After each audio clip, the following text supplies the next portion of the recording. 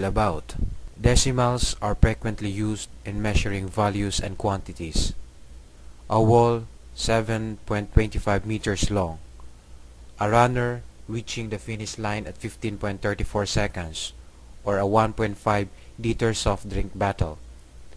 Money is also expressed in decimal form.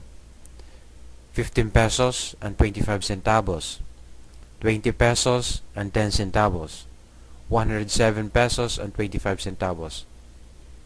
It is important then that we learn mathematical operations involving decimals. This module will deal with the multiplication and division of decimals. This module is divided into two lessons. Lesson 1, Multiplication of decimals. Lesson 2, Division of decimals. After studying this module, you should be able to multiply and divide decimals and solve word problems involving multiplication and division of decimals.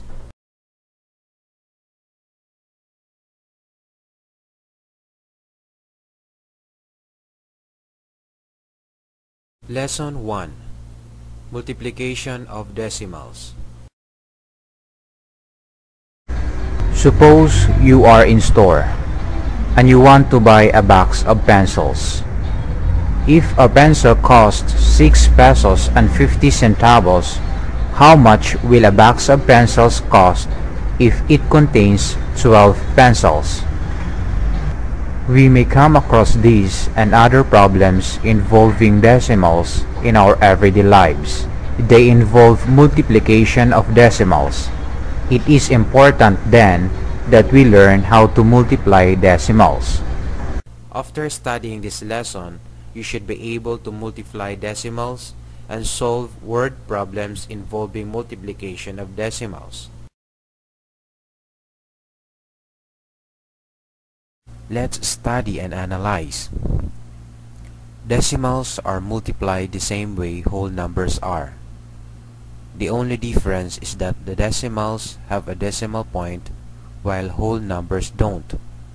Take note also that the decimal point has its correct place in the product, the answer in multiplication. Let's study and analyze the following examples to help you understand the process of multiplication of decimals. Example 1 A. What is the product of 0.7 and 0.8?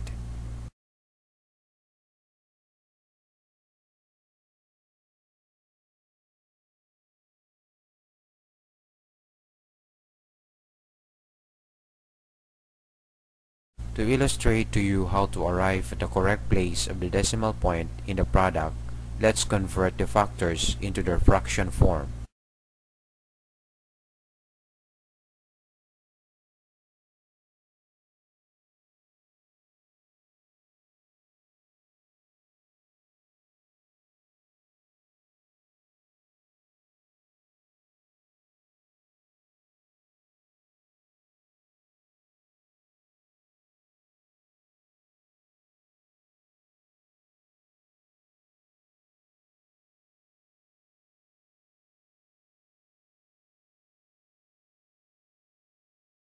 This time, let's multiply the factors.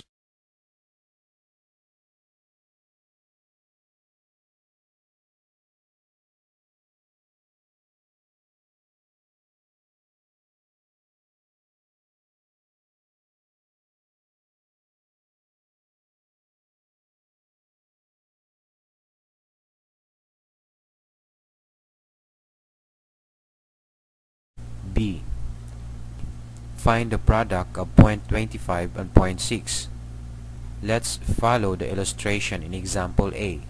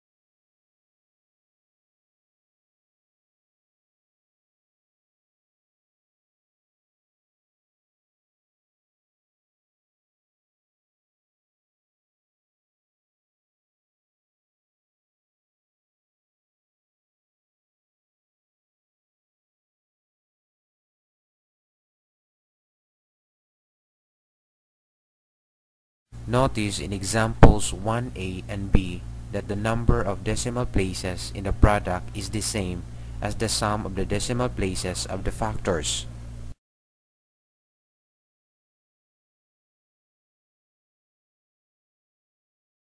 Example 2.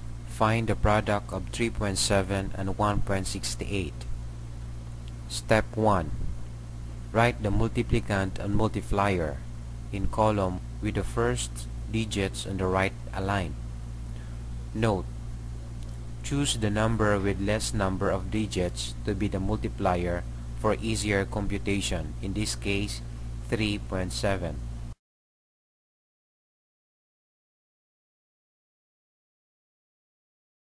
Step 2. Compute for the first partial product using the multiplier 7.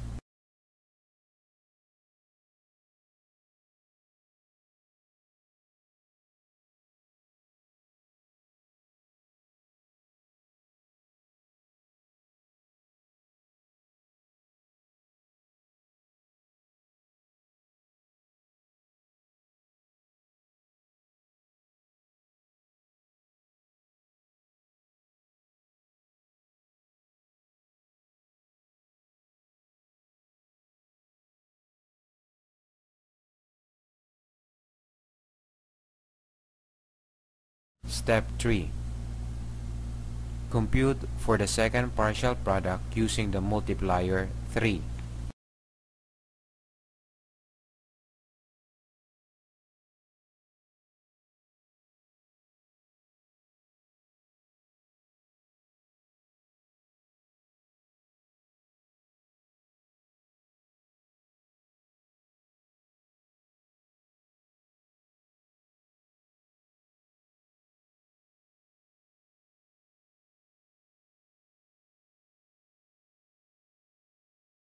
Step 4. Add the first and second partial products to get the final product.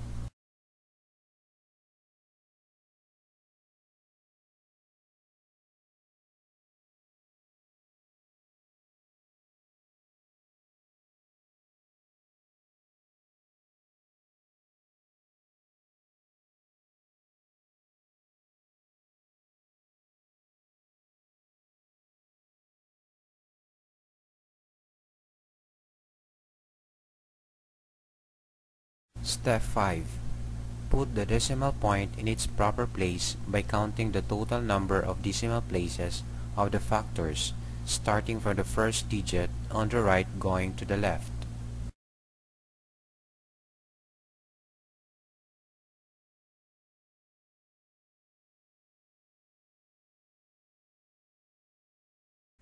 Example 3. What is the product of 235 and point 146. Step 1. Write the factors in column with the first digits on the right aligned. Note, since the numbers to be multiplied are both three-digit numbers, either of them can be used as multiplier with the other becoming the multiplicand.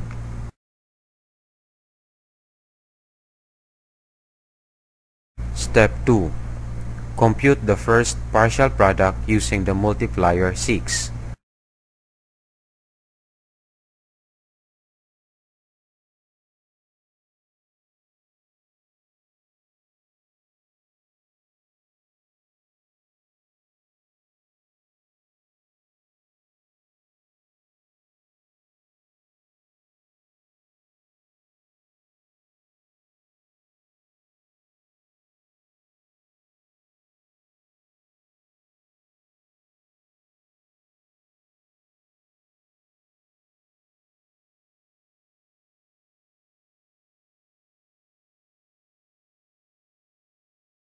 Step 3.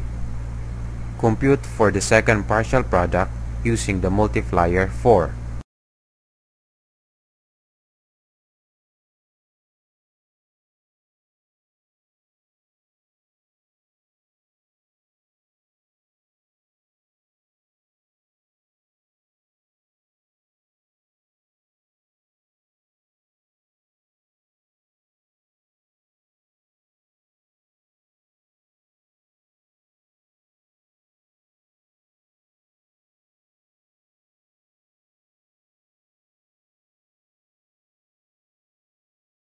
Step 4.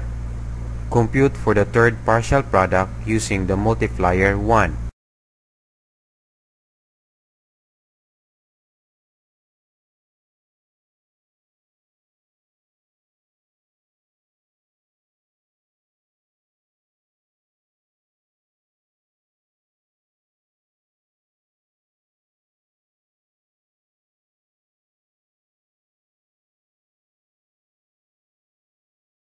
Step 5. Add the first, second, and third partial products to get the final product.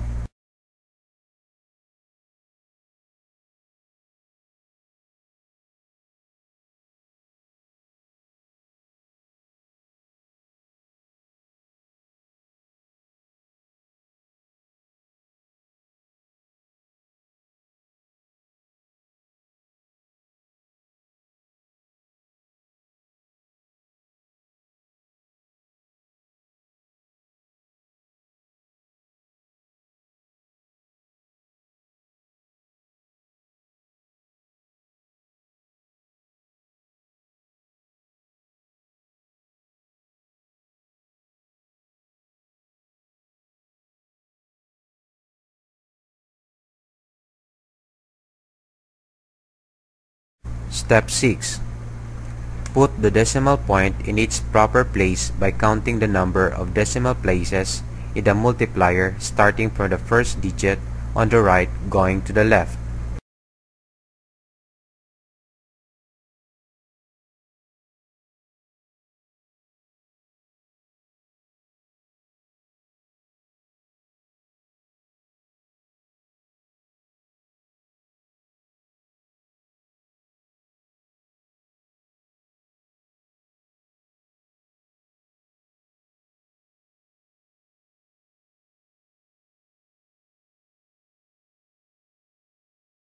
Take note in examples 2 and 3 that the number of digits in the multiplier is also the same number of partial products. In example 2, the two-digit multiplier has the first and second partial products. Similarly, in example 3, the three-digit multiplier has the first, second, and third partial products. Notice also in example 1 that the computed product of one-digit multiplier is the final product. There are no partial products.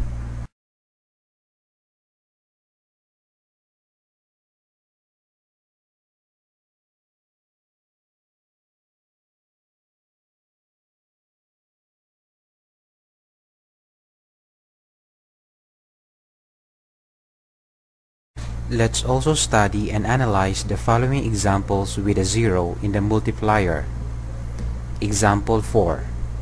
What is the product of 386 and 1.50? Step 1. Write the factors with the first digits on the right aligned.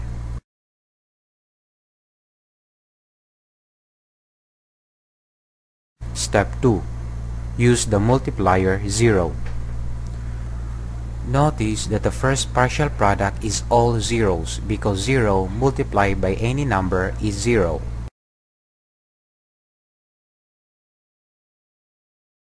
Notice also in the first three examples that the partial products are added to get the final product. Since when 0 is added to any number, the sum is the same number. This means that 0 added to any number does not change the value of that number. Therefore, in our example, we can drop the two zeros on the left and retain the first zero on the right. This zero will be part of the first partial product. Step 3. Compute for the first partial product using the multiplier 5.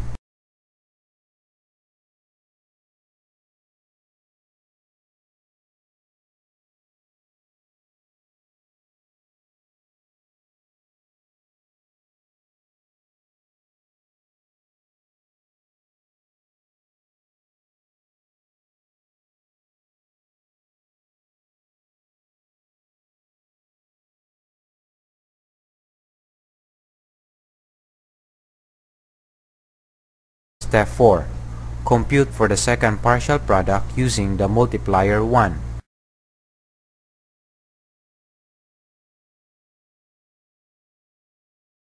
Step 5. Add the partial products to get the final product.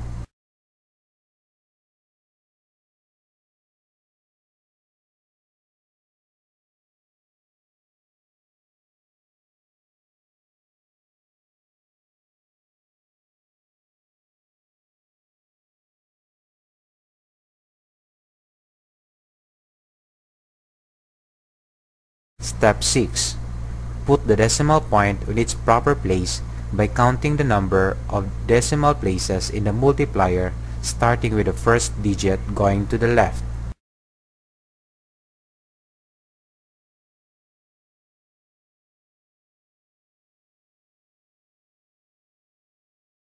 Example 5. What is 5.28 multiplied by 2.07? Step 1. Write the multiplicand and the multiplier in column with the first digit on the right aligned. Step 2. Compute for the first partial product using the multiplier 7.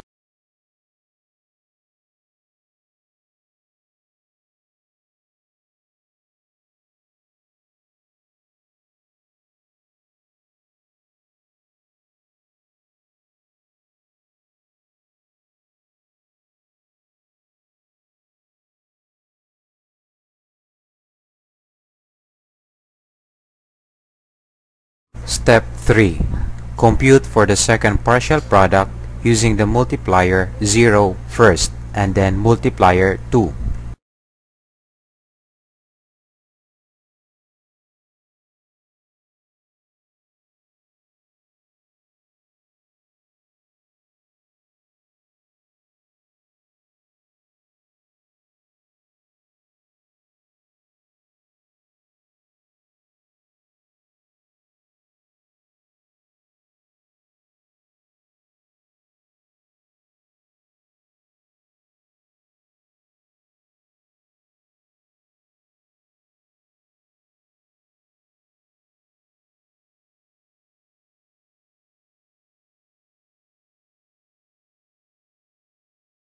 Step 4. Add the first and second partial products to get the final product.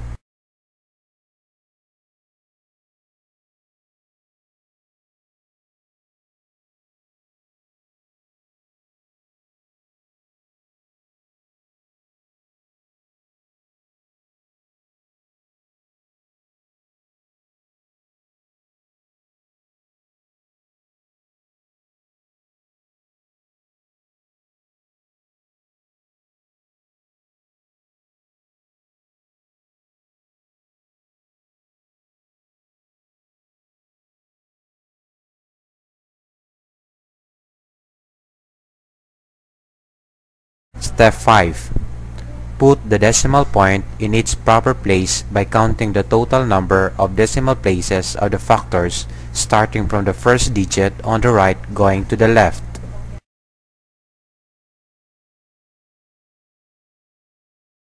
Notice in examples 4 and 5 that we have only the first and second partial products even if we used 3-digit multipliers. Why? The reason is that the product of 0 multiplied only by the first digit on the right in the multiplicand is part of either the first or second partial product depending on its position in the multiplier. If the 0 is the first digit on the right of the multiplier like 1.50, its product is part of the first partial product. If the 0 is the second digit from the right in the multiplier like 2.07, its product is part of the second partial product.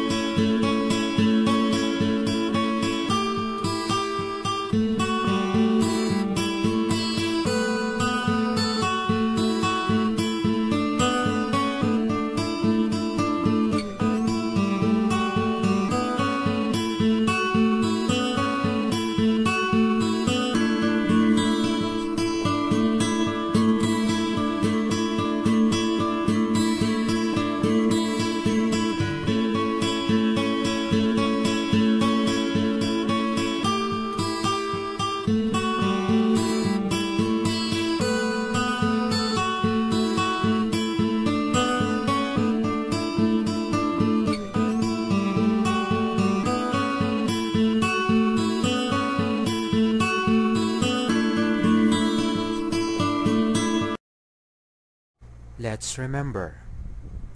Decimals are multiplied just like whole numbers. The only difference is that decimals have a decimal point while whole numbers don't. In multiplication, the answer is called the product. The multiplicand is the number to be multiplied by another, and the multiplier is the number by which the multiplicand is multiplied. The multiplicand and the multiplier are called factors. The number of decimal places in a product is the same as the sum of the decimal places of the factors. The position of the decimal point in the product is determined by the counting the total number of decimal places starting from the first digit on the right going to the left. The number of digits in the multiplier determines the number of partial products. If there is a zero in the multiplier, its product becomes part of the partial product of the digit that follows it. In a one-digit multiplier, the computed product is the final product. In solving word problems involving multiplication of decimals, the steps to follow are Step 1. Write the given information. Step 2. Determine what is asked. Step 3. Identify the operation to be used. Step 4. Write the number sentence to solve the problem. Step 5. Solve for the answer.